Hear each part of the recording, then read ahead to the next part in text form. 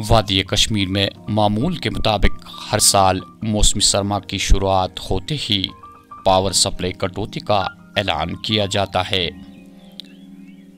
जहाँ हुकाम ने दावा किया था कि स्मार्ट मीटर नस्ब करते ही उन इलाकों में कोई पावर कटौती नहीं होगी। वहीं स्मार्ट मीटर नस्बशुदा इलाकों में साढ़े चार और बगैर मीटर वाले इलाकों में आठ घंटे कटौती का ऐलान किया गया।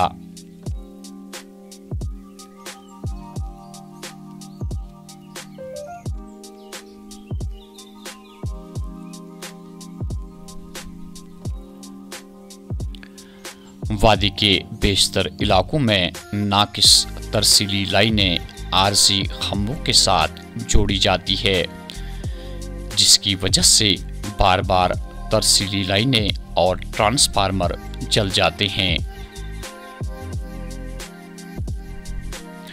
कई इलाकों का दौरा करने के बाद हमने देखा कि जो तरसीली लाइनें हैं, काफ़ी नाकिस हालत में है।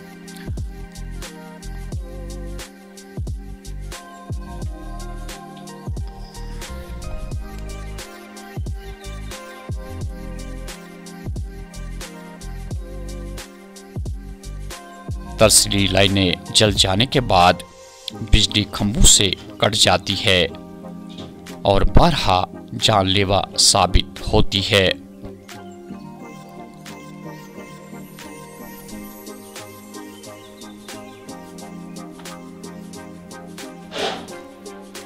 सरमा में भारी बर्फ़ की वजह से कई कई दिनों तक पावर सप्लाई मुनकता होती है। यही वजह है कि लोग महकमई पीडीडी के खिलाफ सरापा एहतजाज होते हैं।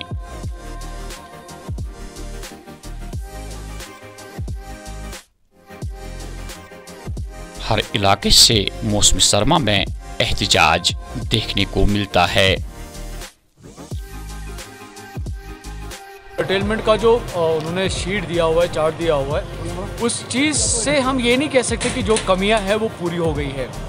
अब देखेंगे कि अभी भी जो हमारा पीडीडी डिपार्टमेंट है, उसमें कई सारी कमियाँ हैं अभी, क्योंकि तो सर्दी के आयाम चल रहे हैं और अक्सर जो है शॉर्ट सर्किट्स की जो है शिकायतें लोगों से मौसू होती हैं या जो तरसीली लाइनें हैं, वो ख़राब होती हैं। तो ये एक एक बेसिक रीज़न है जिसकी वजह से लोग जो है परेशान हैं। अब दूसरी बात यहाँ पे भी आ रही है कि आपने ये सुना होगा कि कुछ दिन पहले ये भी स्टेटमेंट आया था कि पानी की कमी है। जिसकी वजह से इलेक्ट्रिसिटी जो है वो भी लोगों को पूरी तरह से मुहैया नहीं की जा रही है, जिसकी वजह से जो है कर्टेलमेंट प्रोग्राम जो है तश्कील दिया गया है।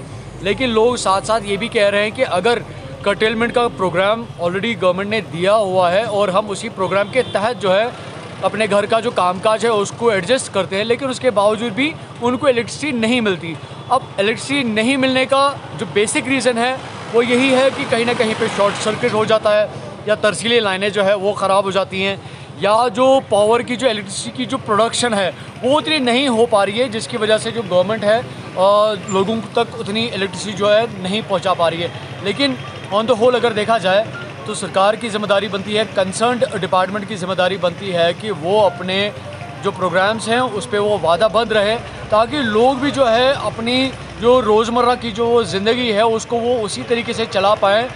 तब तक, जब तक कि जो इलेक्ट्रिसिटी का जो ये स्केड्यूल है ये चेंज नहीं होता। अब अगर कहीं पे किसी को उम्मीद होती है कि दो बजे इलेक्ट्रिसिटी आएगी और मैं चावल पकाऊँगा या कुछ ऐसा काम होता है, लेकिन अब दो बजे भी नहीं आती है, वो बंदा चार बजे तक इंतज़ार करता है, लेकिन उसका जो पूरा काम काज दिन भर का जो काम काज का सिस्टम है, वो पूरी तरह से मुतासर होता है। तो ज़रूरत इस बात की है कि अगर कर्टेलमेंट प्रोग्राम है तो लोगों को उसी अंदाजे से जो है, उसी तरीके से जो है इलेक्ट्रिसिटी भी मुहैया होनी चाहिए, ताकि लोग जो है, इस तरह से मुतासर ना हो। आपका जैसा कि हमने पूछा कर्टेलमेंट के हवाले से, अगर ये बात देखें, आपने देखा होगा कि सरकार एक साइड से कर्टेल्ड शेड्यूल बताती है, लेकिन दूसरे साइड से टैरिफ भी बढ़ा देती है। दो चीज़ें एक साथ हो रही है। एक साइड से आपका टैरिफ बढ़ता जा रहा है, दूसरे साइड से कर्टेलमेंट बढ़ती जा रही है। और चूँकि सबको पता है, जम्मू कश्मीर का ये जो कश्मीर वैली रीजन है, इसमें कितनी ठंड होती है, कड़ाके की, कितनी परेशानियों से दो चार होता है इंसान। और जैसा आपने अभी भी कहा कि बीमारदारी होती है, घरों में बुज़ुर्ग लोग होते हैं जिनको इधर कॉन्सनट्रेटर की ज़रूरत होती है, गर्मी की ज़रूरत होती है। काफ़ी मुश्किल है और साथ ही साथ सिर्फ़ इतना ही नहीं, लोग जैसे मैं पहले भी कहता आ रहा हूँ कि ट्रेडिशनल कांगड़ी की तरफ़ ध्यान देते हैं अपने आप को गर्म रखने के लिए, लेकिन अब कांगड़ी भी महँगी होती जा रही है और कांगड़ी का कोयला भी महँगा होता जा रहा है। पिछले कुछ सालों में आपने देखा होगा, जो कोयला आपको तीस रुपये किलो मिलता था, आज वो पचास रुपये मिल रहा है। और साथ ही साथ केले की के जो ठेला मिलता है कोयले का, दो सौ रुपये मिला करता था, आज चार सौ, पाँच सौ में मिल रहा है। हर साइड से तो महँगाई बढ़ती जा रही है, हर साइड से मुश्किल बढ़ते जा रहे हैं। उसके ऊपर एक और मुश्किल ये सामने आ गई कि डिपार्टमेंट को लोगों की लोगों की तरफ़ कोई तवज्जो नहीं है। इनको अपना बस और ख़ास तौर पर देखा जाए, अगर प्राइवेटाइजेशन हो रही है तो क्या प्राइवेटाइजेशन में ऐसा ही होगा कि लोगों को आप चूसते जाएँगे टैरिफ बढ़ा बढ़ा कर और कर्टेलमेंट कर करके। आप अगर प्रोडक्शन नहीं कर पा रहे तो आप क्लियरली बता दीजिए। प्रोडक्शन के लिए कुछ काम कीजिए ताकि और ज़्यादा मेगावाट आप बढ़ा दें। लोगों को परेशान करने से कुछ नहीं होगा। एक दिन ऐसा आएगा कि शायद अपना कनेक्शन ही काट कर लोग सोलर पे आ जाए। और मुझे लगता है कि वो दौर भी जल्दी आएगा कि अगर ऐसा चलता रहा मीटर्ड इलाके में भी आप कर्टेलमेंट लगा रहे हो। दो घंटे का बोला तो चार घंटे का हो रहा है। नॉन मीटर्ड में चार घंटे से आठ घंटा। तो फिर इंसान इस कड़ाके की ठंड में कैसे जिएगा?